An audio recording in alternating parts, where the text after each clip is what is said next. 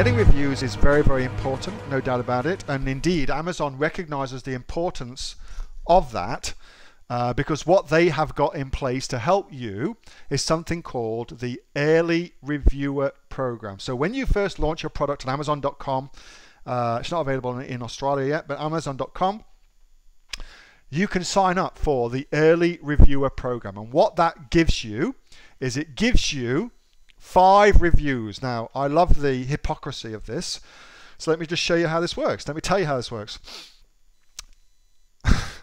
Amazon has stopped us incentivizing reviews on Amazon. So it stopped us doing that. We get in trouble if we incentivize reviews. However, uh, you will see very, very quickly that what the early reviewer program is, it's Amazon incentivizing reviews. That's all it is. So you sign up for it, they charge your card 60 US dollars, and for that, they will get you up to five reviews over a period of up to 12 months, something like that.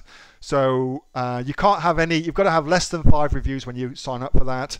Um, but generally speaking, they'll get you your first five reviews. And the, the way it works is they will go out to the reviewers who are in what's called the Vine program and they will give the product to them uh, at your cost.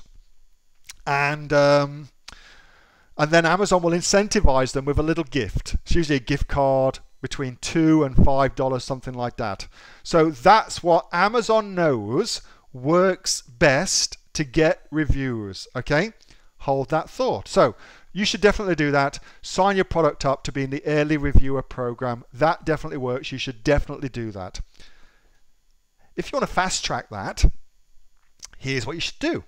So I just copy what Amazon does. So here I am on Upwork, and what I would do in this situation is I would set up a job for a uh, Amazon assistant.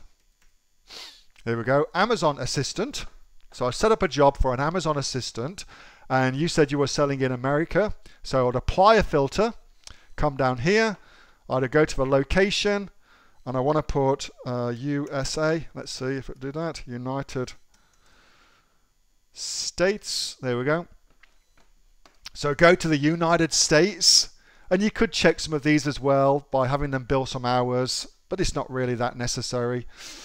What I'm looking for is a hourly rate $10 and under. Okay, cheapo, cheapo people.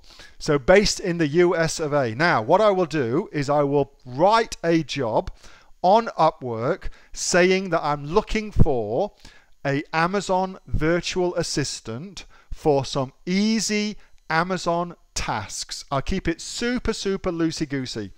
I do not mention I want you to review my product. I don't talk about that at all. If you do, your, your, your account will get closed down immediately on Upwork, okay? So don't do that. Just talk about Amazon Assistant, simple tasks, and I also say you must have an Amazon.com or even better, be a Prime customer because I want you to understand how Amazon works, okay? So I'll put that in there too, just so that I can make sure that the person who I'm going to talk to can actually review my product. And if they're a Prime customer, that will mean they can review your product. So that's the first thing. Then I put that listing live and then I invite people to my job. So I'd invite Kelvin and Ashley, Victoria, etc., etc., etc. to my job. Once they apply for my job, I have a little bit of to and fro with them through Upwork. And then I say to them, Can I talk to you live on Skype just so that I can explain more about what the job is? And they'll be keen to do that, of course, because it shows you're serious. So I take them off of Upwork and take them onto something like Skype or something like that, okay? And then when they're on Skype, that's when I tell them the real job. And of course, the real job is will you go to Amazon and buy my product? And I will pay you to do that. And then you leave me a nice review. That's the real job, of course, okay? So a couple of nuances with that. First thing is, you want to pay them through Upwork because it's important to them as Upwork providers that you can use the Upwork interface and they'll also then be able to get their own five star review from you uh, who's hired them. So it means it's good for them for their Upwork profile. So that's cool.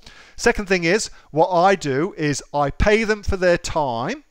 So that's an hour of their time to go and order the product on Amazon and also to leave a review. And I also pay them for the product. Now I do that up front. So my thing is, I don't expect you to trust me. I will simply trust you. So I'll put all my trust in you so you don't need to put your trust in me. That's very, very compelling. You're not saying you go to Amazon, buy my product, and then I'll reimburse you. No. What you're saying is, I'll give you the money to go and buy my product, and I'll also pay you to do that through Upwork. It's a much, much better offer for people. You're not asking them to take any risk at all. And so that's what I do. It's a very, very simple way of getting reviews on uh, on Amazon. And it's a way that you can control that. And it's basically what Amazon does. Except for you've taken control of it. You're no longer using the early reviewer program.